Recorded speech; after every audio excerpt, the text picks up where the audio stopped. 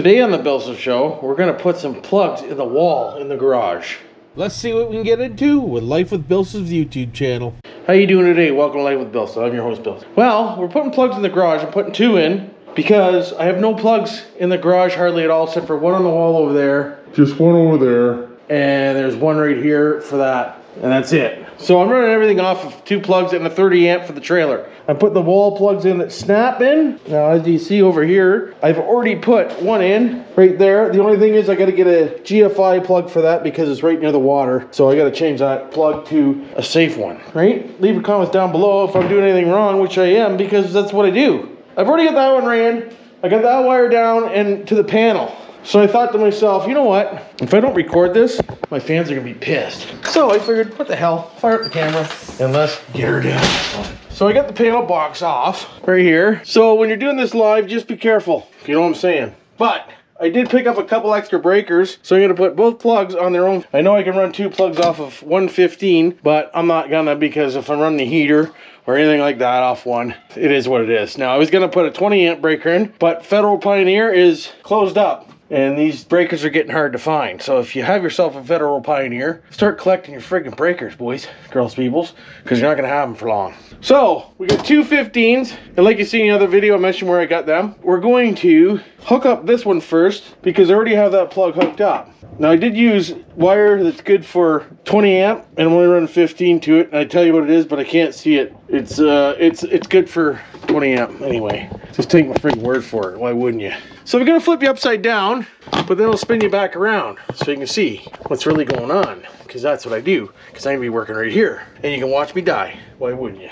I put in my doodads to make it safe, you know, that the wire goes through and you tighten them up and Bob's your uncle. So they're in. So now all you gotta do is feed this wire through here. Now make sure when you're doing this, you're just careful. Easy, careful, gentle, boys, girls, peoples. So we'll go through here like so, and we'll bring it up around here like so, just until we get her in, Jim. All right, now sometimes these are a pain in the balls to get through because they got a groove, and the groove's just designed to take one wire, so it's pretty tight. It is. Are you watching? Probably not. Here, let me. There you go. How's that? Better? So I'll get this in here like this.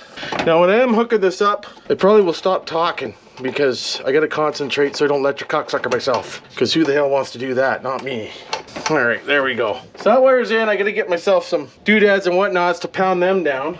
But for now, that's good. So we'll take this and we'll tighten this up like that. Don't want to do it too tight. Just tighten up the holder. And now we're gonna want to go just figure out where you are here. These are my 30 amps for the trailer I put in. So I'm gonna go under them and I gotta catch the white bar here. And then of course the ground there. So we'll uh, grab a, ourselves a doodad. And I'm not going very far, so I only need about that much wire really. So you can cut off a lot of this extra. What a waste.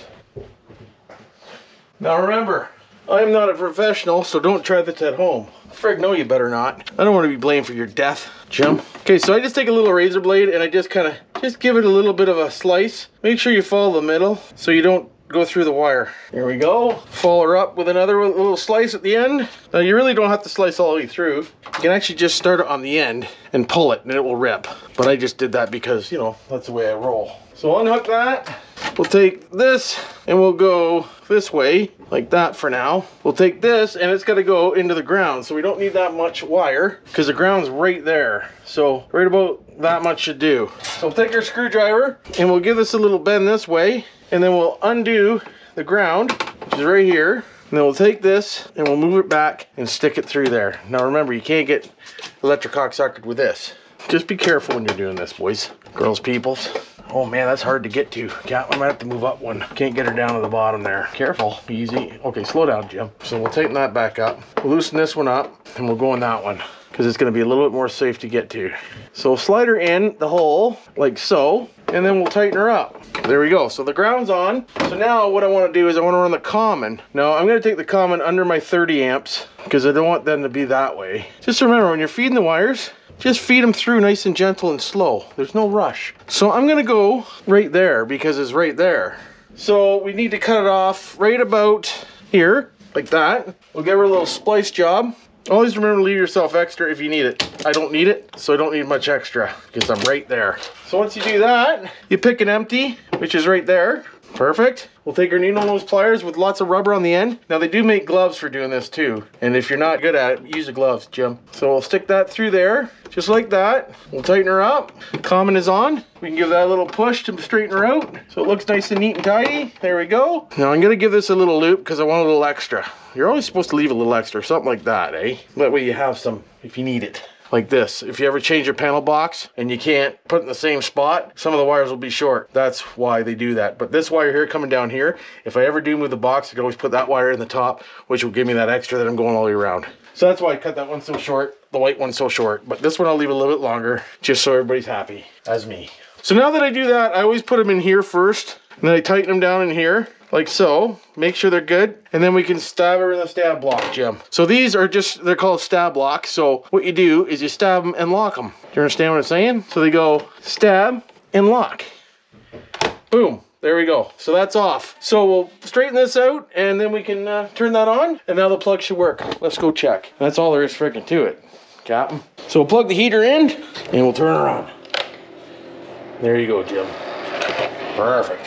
We got her. So there's the first plug done. So now all I gotta do is the other plug. We'll do this together out here because you didn't see how I did this and then you know how I did the inside. Like I said, don't do that yourself unless you're 100% sure of yourself. If you're not, then don't do it, Captain. Like I was saying, these are the boxes I bought. They're designed to, if you don't wanna look for a stud, then you can just put a hole in it and push this in and it snaps and locks the box in. And I'll show you that as soon as we get there. So here I wanna leave myself some extra wire even though I got lost downstairs. So I'll leave myself some extra wire anyway. Now we need my blade, which I left downstairs. So I'll give this one a peel, like I said, but we'll just do the end like I was telling you. And then you'll see, you can just pull it back yourself. You gotta pull a little harder, but you'll go. See what I mean? Decent. So now we're gonna cut that off right there. We're gonna take our box and we're gonna decide we want this hole because that's where the hole is. I got vertical 2 by 4s in this house. So that's why the plug's so low to the ground because of uh, I got verticals, I got another one here, here. So we had to keep her kind of somewhat low, which is fine. Whatever, it works. So we'll stick that through here, run this in here like this. Are you watching? Probably not. Why would you? Oh, I forgot to check the box to make sure it's gonna fit. We gotta trim a little bit more out. I forgot to check that. See, I got sidetracked. So we just gotta go back this way a little bit more. Not much, just a little. There we go. Perfect. Now it's probably too big. Why wouldn't it be? So let's try it again. So we'll put this in here like so. Now remember, I haven't hooked this one up in the box yet, in case you're gonna think that I'm gonna electric cocksucker myself again, but I'm not. So tighten this up. Careful, frig. Screwdriver's got a weird noise to it. What happened? There we go. So now that that's tight, we can spin this around and we'll throw the box in the hole. Now it's gonna be snug because that's the way I made it. As you see, hey, uh, ooh, hey, ooh, It's gonna be real snug, Captain. Jim, we almost need a little bit more again. Just a tad. Okay.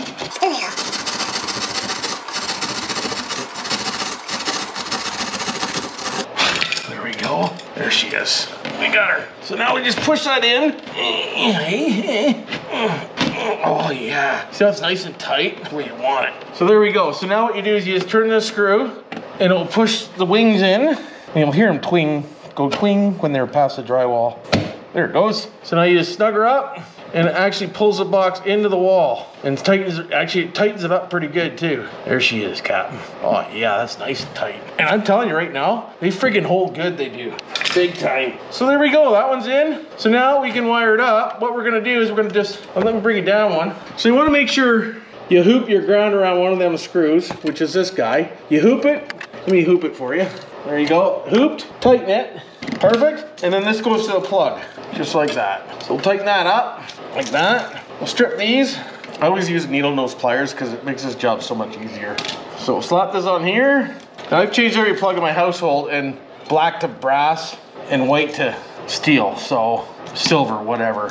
So that's the way I put all new plugs in the whole house, and that's the way I did them, so that's the way I'm staying. I'm pretty sure that's the right way of doing it too. Now you just give it a little full, give it a little full, and then you line her in there, and Bob's a friggin' uncle. We'll get another power drill. Because like I said to you before, I have no idea why they put such long screws in these. I think it's so you can suck the wire in. That's why I think they do it. If I did this for a living, I'd have one of these on hand at all times. Now, of course, just make sure it's kind of straight there. Just eyeball her up. Get yourself a cover plate. And I even covered up my dicker spot in the wall. Captain. there you go. Plug done, in the wall, looks bent, and she's good to go. So now all we got left to do is go downstairs and wire that one into the other breaker, and we're good to go. So hopefully you enjoyed this video. Don't forget to subscribe, like, hit notification bell bar button down below. And remember, I'm not a professional, so don't try this at home. But love you all, and until next time, you know what to do for now.